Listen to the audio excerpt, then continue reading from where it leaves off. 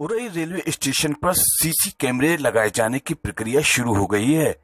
गुरुवार को टेलीकॉम विभाग ने आरपीएफ टीम के साथ स्टेशन व सर्कुलेटिंग एरिया का जायजा लिया।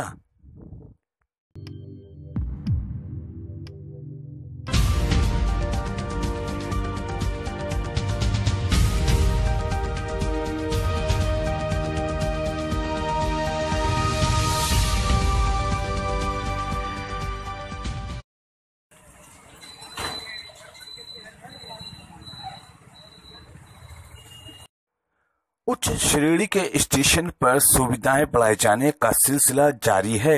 रेलवे स्टेशन को तीसरी आँख की नज़र में रखना चाहता है। वही वजह है कि झांसी मंडल उरई स्टेशन पर सीसी कैमरे लगाए जाने के निर्देश दिए गए हैं। कैमरे लगाए जाने का काम रेलवे के टेलरेट कार्रवाई संस्था को सौंपा है। निर्भय फंड के कैमरे लगाए जाएँगे और तीसरी आँख का वजूद रेलवे स्टेशन उरई पर दिखाई देगा।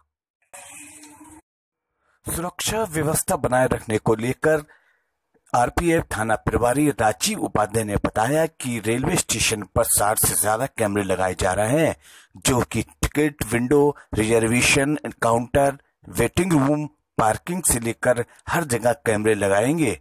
जल्द ही कैमरे लगाए जाएँगे, जिसका काम शुरू हो गया है।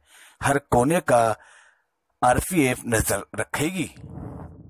अभी वर्तमान में एक सेंशन हो गया। स्वीकृत हो गया, कैमरे शीघ्र लगने वाले हैं।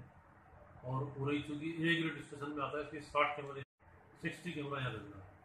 डिफरेंट डिफरेंट लोकेशन में, जिसमें हमारा पूरा प्लेटफॉर्म नंबर एक, दो, तीन, और आपका yard area circulating area foot over सारा एरिया कवर रहेगा लगने हैं, जहाँ उसकी रिक्वायरमेंट है, जहाँ पैसेंजर एरिया है, उसको ज़्यादा फोकस किया है बुकिंग हॉल है ये उसको पूरा कवर करते हुए पूरा सर्वे किया गया है। कब तक लगे जाएँगे कैमरे? उम्मीद है कि एक दो महीने के अंदर में लग जाना चाहिए। काम सेंक्शन है कल से काम स्टार्ट होना है।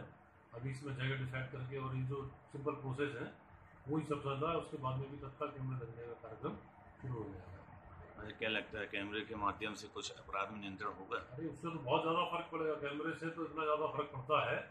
कि कैमरे, मैं इसके पहले भी रहा हूँ तो कैमरे की मदद से बहुत अपराधों को खुलासा हुआ है। और कैमरा लगने से ट्रेमेंडस चेंज आएगा खासकर अपराधी जो उसमें बच निकलता है अपराध करने के बाद में, वो ट्रेस नहीं हो पाता है। तो इसमें तो ट्रेस होने सबसे बड़ी इसका इम्पोर्टेंट यही है कि बैक ट्रेसिंग इंक्वायरी में बहुत अच्छे से होती है अपराधी आदमी को कल पकड़ जाता है। पूरी उम्मीद इसमें